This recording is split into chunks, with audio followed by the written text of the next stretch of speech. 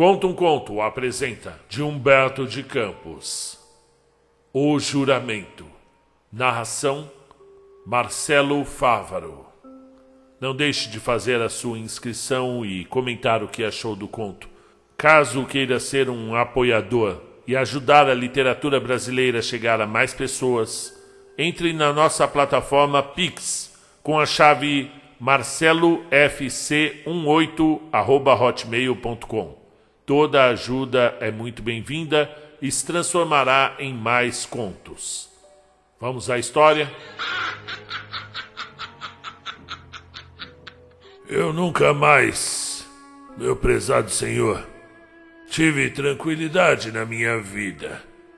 E vinte séculos que eu viva, vinte existências na terra que eu tenha, serão para pagar com o remorso de cada dia ou antes de cada noite, o horror daquela vingança. Capitão Finisterre havia deixado na véspera o porto do Havre, quando travamos relações, eu e aquele cavalheiro no bar do navio. Era um homem velho, magro, de grande ossatura, um tipo de Quixote dos Pampas, a que não faltava sequer a barbicha comprida e rala, suja como a dos bodes. Não obstante os meses passados no clima suave da Europa, a sua pele conservava aquela tonalidade escura e áspera das ceias dos ventos e do sol. Os olhos miúdos, muito vivos, desconfiados, escondiam-se órbitas fundas sob as sobrancelhas pesadas, como duas onças em duas furnas, mascaradas de erva grosseira. Chamava-se Ramon Gonçalves e Gonçalves e dizia ele industrial à margem do rio Bermejo, no extremo norte da Argentina. Possuía ali serrarias de madeira, além de algumas fazendas de gado no sul, onde vivia ultimamente em luta sempre com a natureza bravia. O caso, porém, que me atormenta a vida, meu caro senhor, ocorreu no norte, há trinta anos, e eu tinha então quarenta. A noite estava linda, como em geral as noites de estio, ao largo da costa francesa, à entrada do Atlântico. Uma lasca de lua fina e dourada tomava posse do céu em nome de Maomé, dando-lhe, com suas estrelas, a feição de grande pavilhão turco. E debaixo do bojo do navio subia o ronco fatigado das máquinas, no esforço esclerótico das caldeiras. O ruído fresco de uma vaga arrebentada no costado de ferro e caindo de novo em forma de chuva grossa sob as espumas de outra onda nascida para morrer. Foi em Corrientes que a conheci. Começou o ancião, enquanto virava o seu terceiro whisky and soda. Era filha de um amigo meu, quase uma menina, quando a vi na visita que fiz ao pai, meu antigo companheiro de colégio.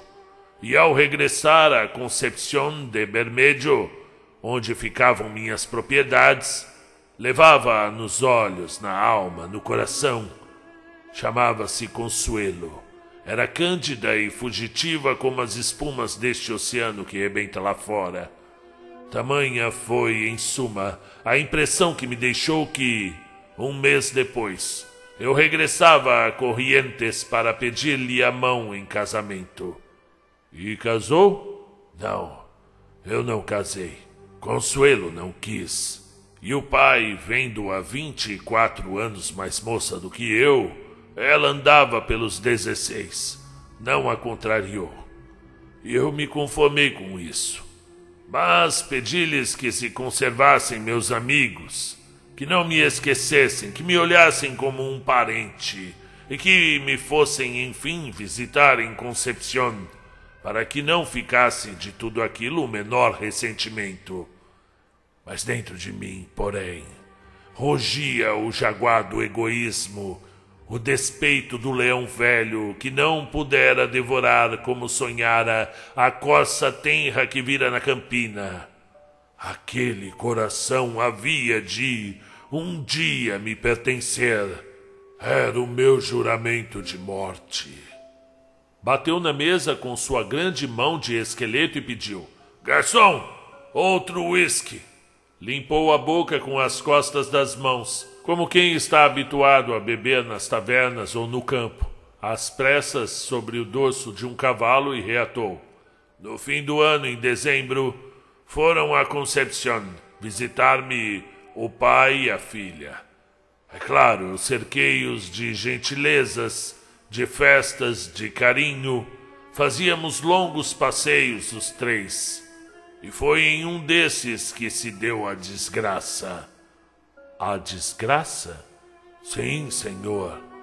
Tínhamos planejado uma visita ao Alto Soledad, onde eu havia adquirido uma grande extensão de terras para a extração de madeira. O senhor não conhece o Alto Bermejo, conhece? Ah, é uma floresta virgem, soturna, impenetrada Desembarcamos em Guarridia, pequeno porto para exportação de lenha, e entramos pela mata, viajando a manhã toda. O senhor não imagina o que são aquelas matas. Eu tenho a impressão de que as selvas do Amazonas são assim. Árvores que dois homens não abarcam. Serram fileiras, uma ao lado da outra, numa extensão de centenas de quilômetros. E lá em cima, sobre esses milagres de colunas poderosas, é o todo verde e fechado, que não deixa passar gota de chuva e que o sol só atravessa ao meio-dia em forma de claridade. E começava a entardecer quando fomos assaltados pelos índios churupinás, que são os mais terríveis de toda a região. E então então foi o infortúnio. Presos, manietados com cipós, fomos conduzidos ao acampamento dos indígenas, sete léguas adiante, mato adentro. E como me recordo ainda dessa travessia pela floresta, tarde toda, e depois noite fechada.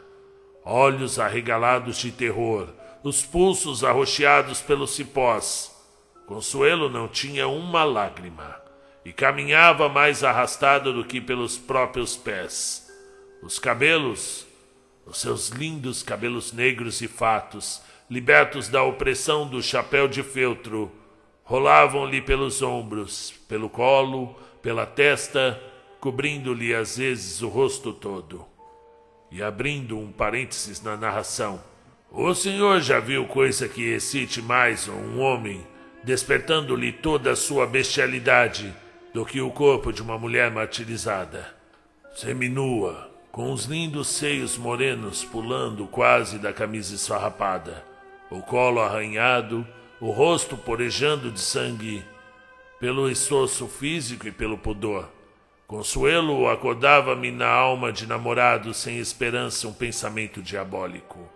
Eu marchava para a morte, mas marchava calmo, resignado e até feliz. Talvez não trocasse naquele momento aquele caminho recoberto de espinhos dilacerantes pelo mais florido da terra. Outra incidência. Por que o senhor sabe, acaso, o que é amar uma criatura, sabendo que nunca a possuirá?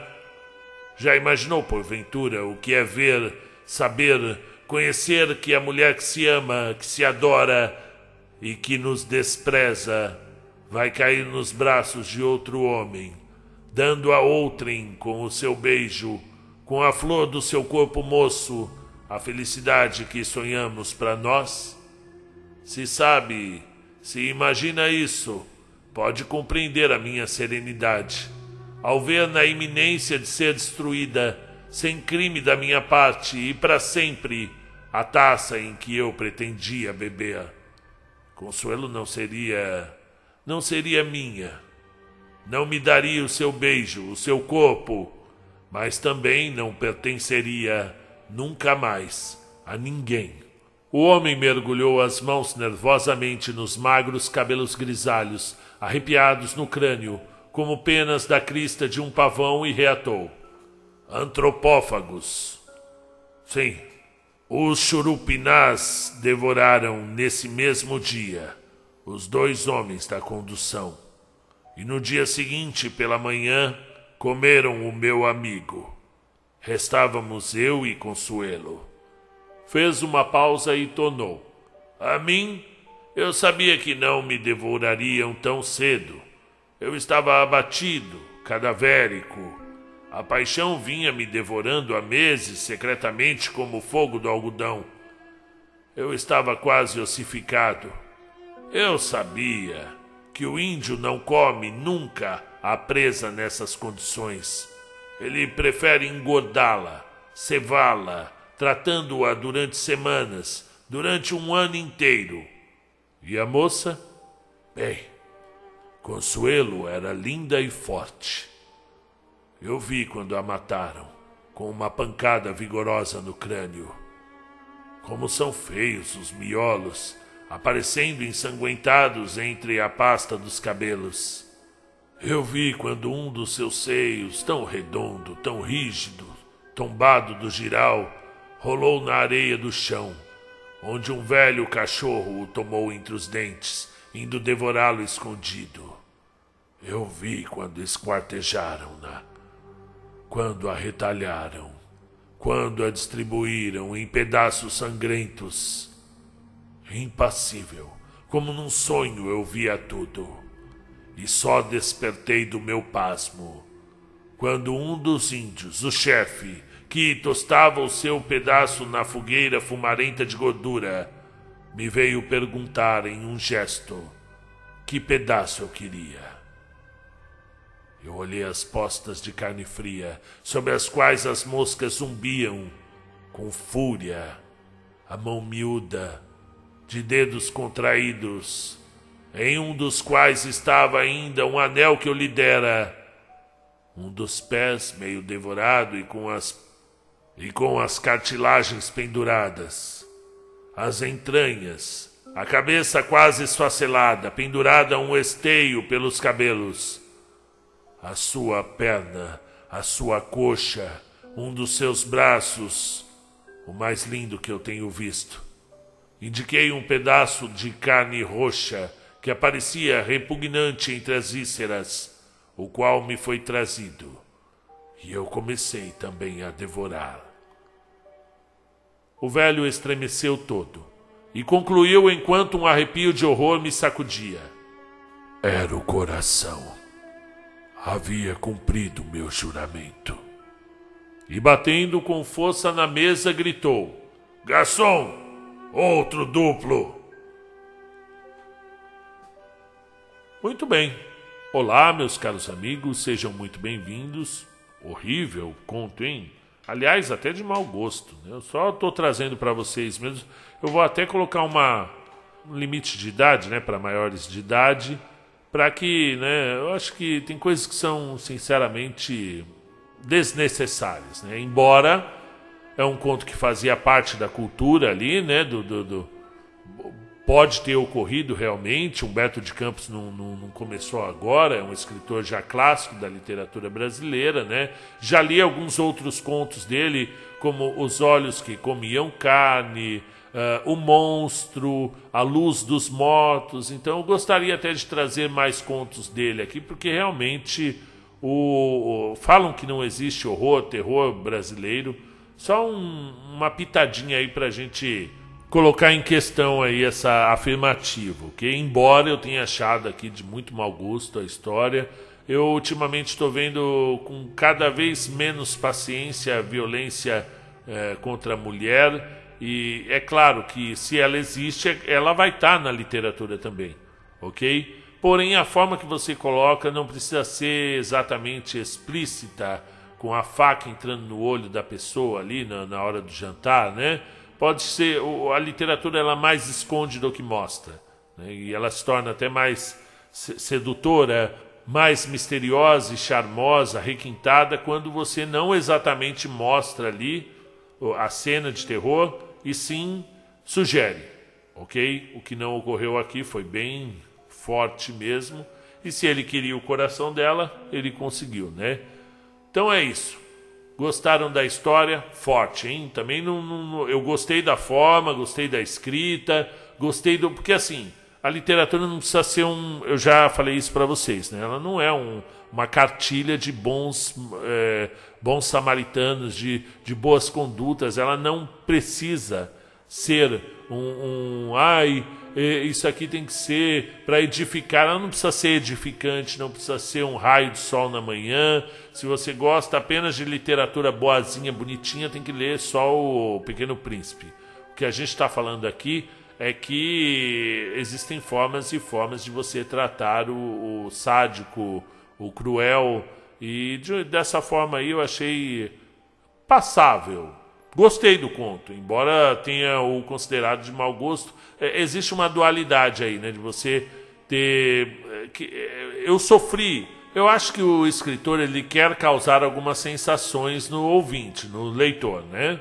E nesse caso aqui, eu acho que ele conseguiu causar em mim a sensação que ele imaginou há mais de 100 anos quando escreveu esse conto. Eu falei, ah, eu quero deixar o leitor mal com essa história. Eu quero causar terror nele. É isso que eu quero. Não é prazer, é indignação.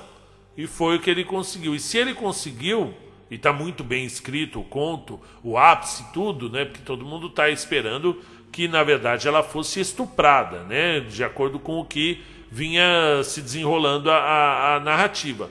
Quando ele começa a falar de canibalismo, antropófagos, aí você fala: opa, o negócio é muito mais pesado, né?